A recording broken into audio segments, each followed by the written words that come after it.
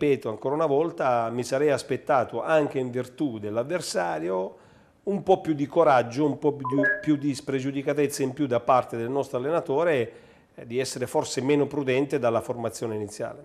Tra l'altro mister Nicola in eh, questi minuti è proprio in conferenza stampa, quindi vedremo anche quello che, che dirà ai giornalisti attraverso Cristian Siciliani, magari ci collegheremo tra poco, anche se ehm, insomma, abbiamo saputo che è un mister non soddisfatto di questa partita nonostante il tentativo eh, dei suoi ragazzi di creare gioco e di creare, come dicevi tu, eh, superiorità numerica, però non è stato soddisfatto dalla prestazione. Sì, ma non è facile, ripeto, quando vengono queste squadre tra virgolette dico piccole, eh, a Bari. È normale che troveremo squadre come abbiamo già trovato in passato. Sì, non è la prima, insomma. Che verrà, verranno qui per, per, difendersi nove uomini dietro, dieci spesso dietro la linea della palla. Eh, e diventa difficile per chiunque, per qualsiasi squadra, creare situazioni limpide o situazioni eh, per liberare facilmente al tiro qualcuno. Uh, l'abbiamo visto in passato sia nella vecchia gestione che in questa sì. nuova gestione. Però uh, ancora una volta ribadisco, a volte devi osare un po' di più se vuoi provare a vincere, osare prima, certo. a rischiare forse qualcosina in più. È vero che oggi non abbiamo, come diceva l'ultimo amico, non abbiamo uh, subito alcun tiro sì. in porta, a parte che il primo contropiede del primo tempo non, non abbiamo, abbiamo, subito il tiro in porta, ma era rischiato. molto rischioso.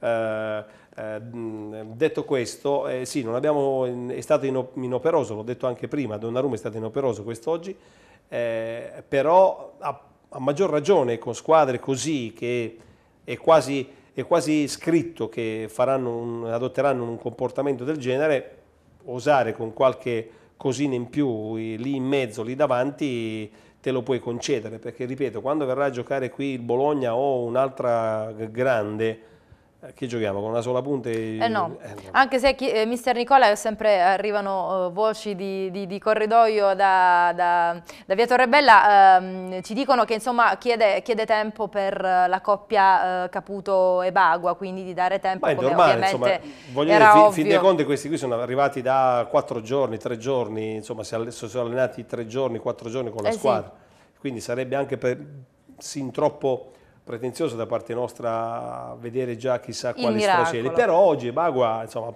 ci ha provato in più di una circostanza, è stato anche eh, sufficientemente pericoloso per essere la prima partita e perché insomma, non è che abbia avuto, non ha tutti i minuti, non è brillantissimo, sia eh il no, suo fisico ma anche perché, perché insomma, non è stato impiegato spesso e volentieri quest'anno. Quindi avrà, dovrà recuperare anche dal punto di vista fisico sicuramente certo, dovrà, di autonomia. Dovrà avere la, sì, ma più che autonomia, brillantezza, perché l'autonomia magari ce l'ha, però non è brillante, negli ultimi minuti era un po' il suo fisico, appesantito, ma il suo fisico già tra l'altro è, è, è possente, quindi non è come Scattarella che è più eh, brevilineo e tre allenamenti ed è a posto, eh, c'ha già i 90 minuti, insomma quei giocatori che hanno quel tipo di fisico devono giocare sempre perché sennò diventa dura uh, farli entrare in condizione. Abbiamo un altro telespettatore in linea, pronto, buon pomeriggio. Ciao Barbara, sono Dante da Bari, saluto il signor Guastella. Buonasera. Ciao Dante. Dunque, per quanto riguarda la, il Bari oggi sembrava una squadra anonima, anche perché poi vorrei ricordare allo spettatore che hai chiamato prima che Lentela il primo tempo è stato pericoloso per ben due volte e ha sbagliato due gol, una con il colpo di tacco e l'altro su calcio d'angolo. E poi il Bari mi sembra una squadra di basket, non ha una fisionomia, grazie. Grazie, grazie per il, il, tuo intervento Salvatore. Io ricordo soltanto una, diciamo una, una palla gol di Batocchio se non, non erro, eh, verso la fine del, del, primo, del primo, tempo. Sì, quindi... ma il discorso, è, è, sì, ma l'abbiamo detto, Lentella seppur nella sua uh, pochezza in, in attacco non, non, quasi mai, non si è mai, mai affacciato, ripeto, Donnarumma senza voto se vogliamo se dovessi fare io i giudizi su un giornale direi senza voto. Voto non, senza Sì, perché senza non è stato voto. mai chiamato in causa. Ma detto questo... Sei d'accordo sul fatto che il Bari fosse una squadra senza identità no, quest'oggi? Cioè, allora, ripeto, eh, eh, tu a volte vedi delle azioni in campo, te ne accorgi per chi, ormai quasi tutti, per chi vede calcio, c'è una partita tutti i giorni in qualche posto, ti rendi conto che è frutto di uno schema, ti rendi conto che è frutto di un movimento studiato, preparato. Purtroppo devo dire che in questo bar di quest'oggi non ne ho visto uno. Uh, una sola volta non ho visto una, se non, ripeto, quella palla calciata sulla nostra punta che la spizza per il compagno di reparto e con la squadra che dovrebbe accorciare e fare pressing lì davanti. Ma è troppo poco, cioè, questo è veramente troppo poco troppo poco e troppo semplice, troppo, troppo prevedibile. Eh, non ho visto movimenti, non ho visto azioni, ripeto, non ho visto schemi, eh, compresi quei due o tre calci da, da, fermo che abbiamo avuto che eh, riescono e sono frutto di, di uno prove, schema poi uno ben, schema preciso, ben, ben, preciso, fatto durante la settimana. Almeno io non li ho individuati, eh, non, non, voglio dire che se non li ho visti io non, non esistono, però non, non, sono riuscito a individuarne uno oggi, eh, ma se, se, torno indietro non è che ne ho visti tanti, eh, purtroppo.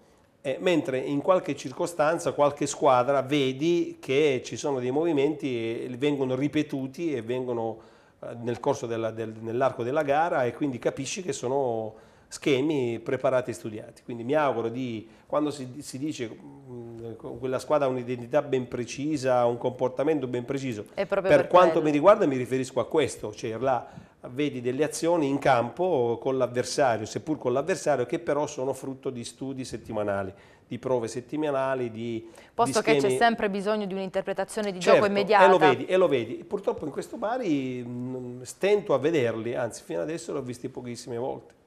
Abbiamo un altro telespettatore in linea, pronto? Buon pomeriggio. Buonasera Barbara. Buonasera. Saluto Salvatore, sono buonasera. Gennaro Baffone del gruppo Baffoni. Ciao.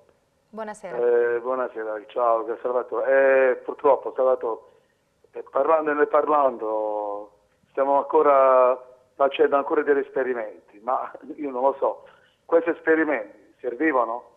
So, il Bari aveva la sua telaiatura perché fare questi esperimenti? Io non lo so. Avevamo già una squadra.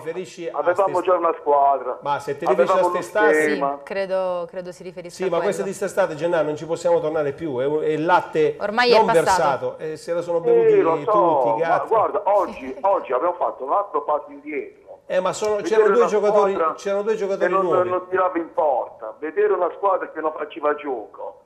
Io non lo so, Guarda, lo so, Lentella, eh... Lentella oggi ti faceva il gol, ti diceva la partita 1 al tiro di nuovo. Meno male che non, eh, meno male che non è successo. Grazie mille innanzitutto Gennaro per il sì, tuo eh, intervento. Beh, no, voglio dire, grazie mille, meno male voglio dire, meno sì, male che sì, non...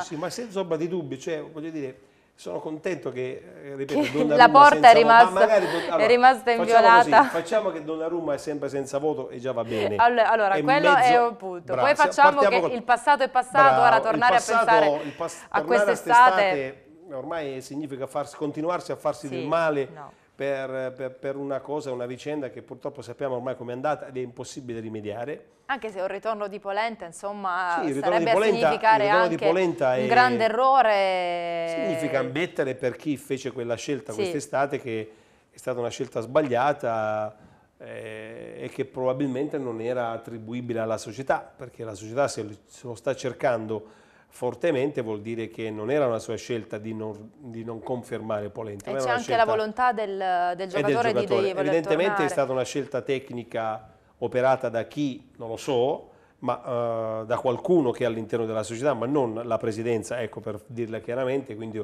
o il direttore sportivo o l'allenatore che c'era prima avevano scelto di non avvalersi della, uh, della permanenza di Polenta qui, e, però non ci pensiamo più, dobbiamo fare i conti con quello che abbiamo e con quello che possiamo avere, cioè significa i giocatori che attualmente fanno parte della rosa e quelli che possibilmente possono essere raggiungibili da, da questa parentesi di mercato. Se dovesse ritornare Polenta sono felice io per lui e per tutti i tifosi che lo volevano, ma io Tra l'altro rientrerebbe nel, nell'idea di gioco di, di Nicola, sì, l'ha affermato anche lui. Certo, ma ripeto... È un giocatore che servirebbe effettivamente Tra l'altro sì, ma senza ombra di dubbio serve in questo questo tipo di gioco, c'ha i piedi buoni, è forte fisicamente, insomma adesso Polenta non devo de descrivere le qualità, lo sappiamo. Il punto è che però, eh, mi aggiungo a quello che ha detto ancora una volta Davide, oggi lo sto copiando, Lattanzi parecchio, cioè che tu puoi prendere pure tutti i migliori possibili, immaginabili, sì. ma poi gli devi dare un'identità ben Certo. precisa, non ti puoi affidare solo alle loro capacità individuali e Eh basta. no, anche perché non si parla Perché del singolo ma di un gruppo, ovviamente. Eh sì, perché sennò il concetto di squadra che tanto fortemente crede Nicola viene meno. Esattamente. Il, il gruppo deve essere non solo unito e forte e coeso eh, nell'allenarsi, nel seguire l'allenatore, ma deve anche essere tale anche eh, eh, dal punto di vista del gioco. E il gioco sta latita da un bel po'.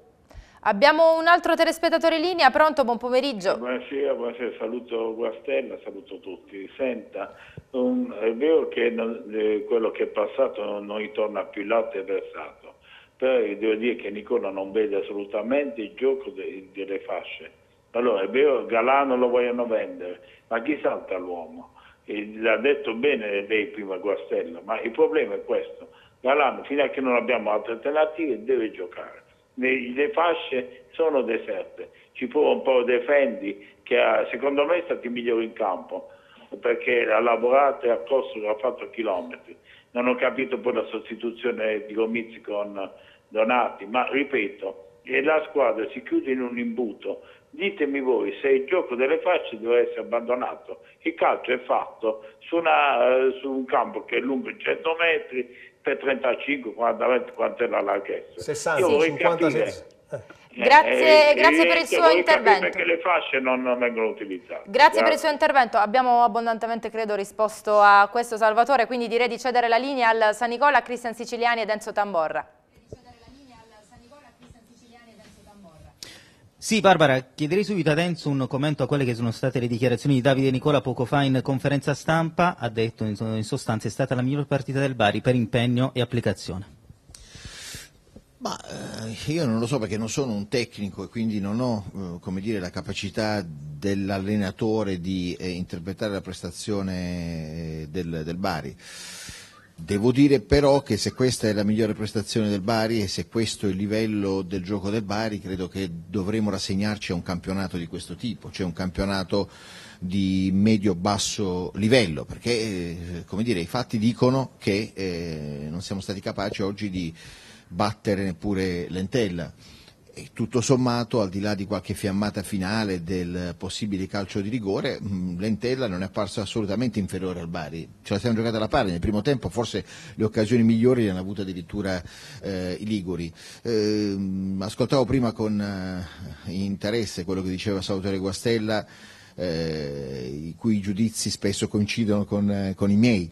Cioè, qui manca proprio il gioco di squadra, cioè non vedo un gioco corale, vedo sprazzi, iniziative individuali e Bagua che prende il pallone, si fa 20-30 metri e prova a tirare in porta eh, e basta. Qualcosa si è visto paradossalmente quando sono entrati in campo quelli che dovrebbero andare via e questo è un altro punto di riflessione perché a mio avviso il Bari è migliorato con gli ingressi in campo di Galano da una parte e De Luca eh, dall'altra e, e devo dire che se Bagua ha dato il meglio di sé quando non c'era Caputo, evidentemente la convivenza tra Ebagua e Caputo, fermo restando che si sono appena conosciuti e quindi non possiamo neanche essere troppo frettolosi nei giudizi, però la convivenza tra Ebagua e Caputo potrebbe essere difficile, cioè probabilmente Ebagua ha bisogno di più spazio e i due alla lunga potrebbero pestarsi i piedi, fermo restando che il giudizio è provvisorio, però legato a questa partita la sensazione è che Ebago e Caputo si siano poi prestati i piedi oggi, che non, non abbiano proprio avuto la capacità di dialogare fra loro e anzi